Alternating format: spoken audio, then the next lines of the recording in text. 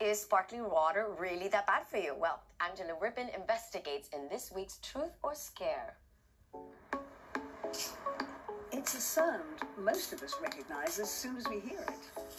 It sounded like a bottle opening that. If you're in need of a drink, it's a good sound to hear. It's very satisfying. It's like a kind of hot weather, Yeah. like in the park. But is that familiar and rather comforting sound of a fizzy drink being opened likely to lead to a very expensive trip to the dentist? Because um, that's the question that's being asked in some headlines, not just of soft drinks, which is what you might expect, but of the, uh, the rather more innocent bubbly pleasure of sparkling water. Yes, these articles claim that it's the fizz in drinks which could cause harm to your teeth, which is why even sparkling water is described as harmful. But other articles disagree, suggesting the risk is minimal. And certainly on the streets of Manchester, people weren't sure what to believe. Honestly, I have no idea if sparkling water's any better than uh, Diet Coke. I guess I'm sure it is because it's not got sugar in it, but uh, I'm sure it's still not great for your teeth either. but it's not that pure as we probably would assume it to be. It's strange because it probably does the same thing as fizzy drinks, but I don't think of it in the same way. I've come to meet Dr. Anup Nandra, a dentist with nearly 20 years' experience, to see what his opinion is of sparkling water on your teeth. So the, the fizz is, is made by injecting carbonated acid into the water, which gives you the bubbles. Now, when that hits your teeth, it has an, a, a lower pH than a, a neutral pH of 7 and causes something called acid erosion of the enamel of your teeth. The pH scale is one way to measure how acidic something is. Around pH 1 is stomach acid, so very strong. 7 is not acidic at all, like tap water. And it goes right the way up to 14 for something extremely alkaline, like drain cleaner. So, where on the scale does sparkling water sit?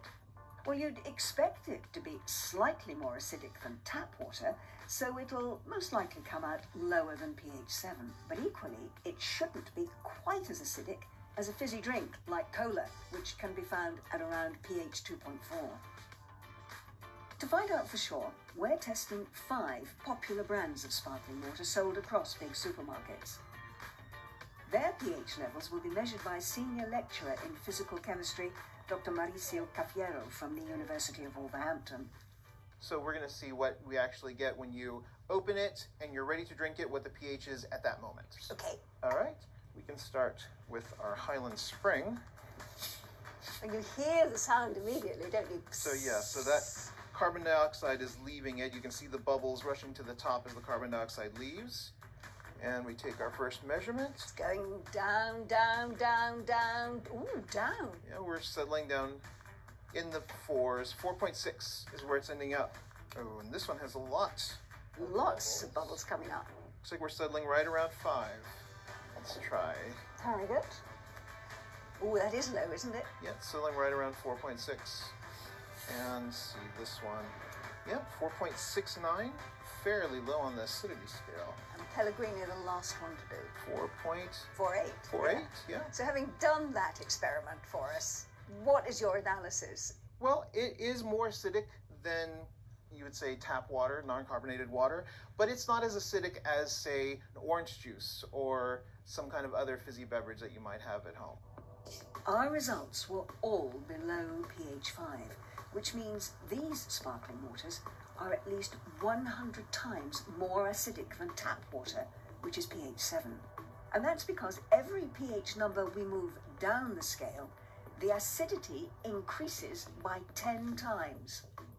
Which means soft drinks like cola at pH 2.4 are nearly 40,000 times more acidic than tap water. But the big question, of course, is what does this mean for our teeth? My advice to my patients is when you're having uh, acidic food or drink is to avoid the amount of time that it stays in contact with your teeth.